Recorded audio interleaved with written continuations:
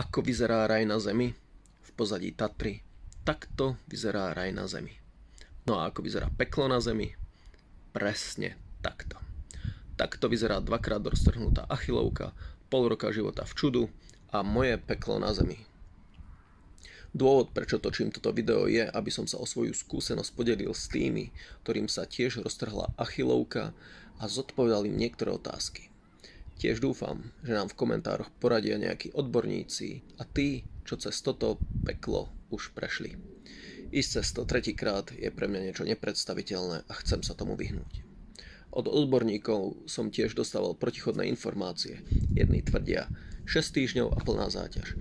Iní tvrdia, že toto sa hojí aj rok a aspoň pol roka mám byť bez činnosti ako napríklad beh či turistika. Jedni tvrdia, že rehabilitujem to už samotným chodením, iní, že rehabilitácia s fyzioterapeutom je dôležitá. Toto video nie je myslené ako kritika doktorov alebo iných odborníkov. Úprimne si myslím, že doktori urobili svoju prácu veľmi dobre.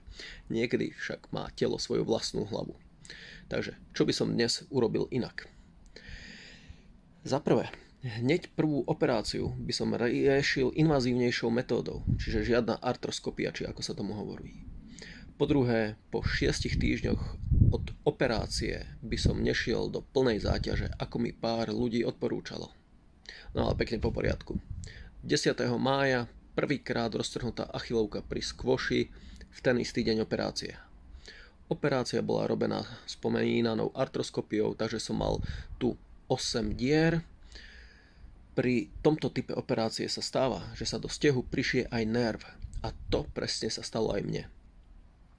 Po štyroch týždňoch od prvého pretrhnutia som mal na nohe ortézu a telo namiesto hojenia začalo protestovať. Keď som sa dotkol svojej nohy, od členku nadol som cítil, ako by som mal nohu obalenú alebo oblepenú hrubou lepiacou páskou. Jednoducho bolo to celé také mŕtve a meravé, ako by mi noha ani nepatrela.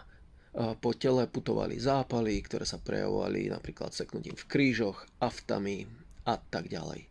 Myslím, že, myslím si, že vzhľadom na prišitý nerv a spomínané zápaly to zákonite muselo skončiť opätovným roztrhnutím, ale to som vtedy ešte nevedel.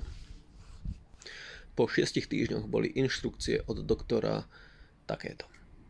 Dole ortéza a plná záťaž.